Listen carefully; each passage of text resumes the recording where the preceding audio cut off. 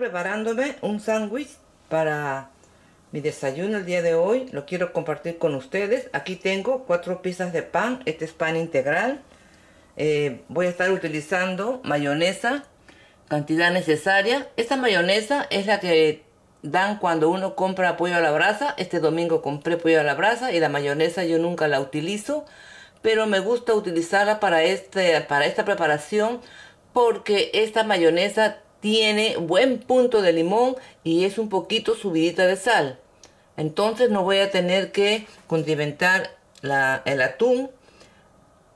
Si no tienes esta mayonesa, utiliza la mayonesa de tu preferencia y cuando estés haciendo esta preparación, agrega un poquito de sal, pimienta y juguito de limón. Aquí tenemos una latita de atún de las pequeñas. También tengo una palta y tengo aquí tres huevos sancochados.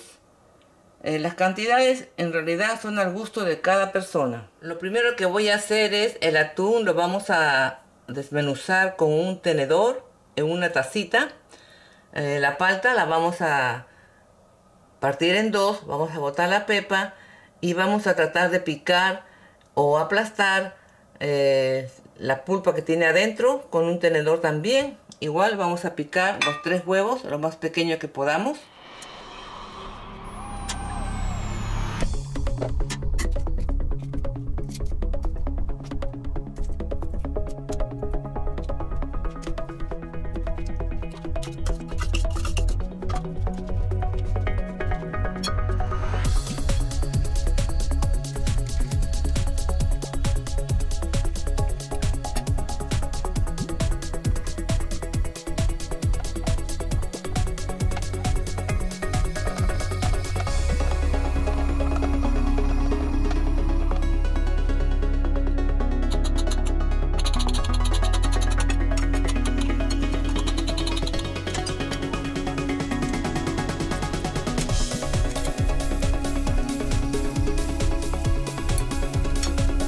Que tenemos los tres ingredientes picados, ahora los vamos a juntar. Ustedes van a comprobar el punto de sal, de limón, de pimienta, lo que le haga falta se lo agregan. Si desean agregar más mayonesa, igualmente.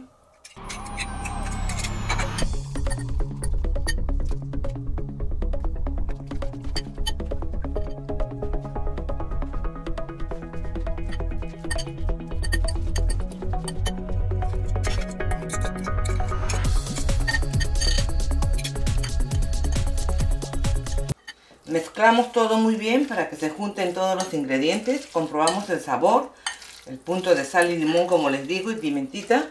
Y si desean aquí pueden agregar este culantro picado o si no perejil. Pero yo no tengo en este momento así que no se lo voy a agregar. Ok, vamos a probarlo. Mm, está muy rico. Está en buen punto de sal. A mí no me gusta demasiado subido de sal. Entonces ahora vamos a tostar los panes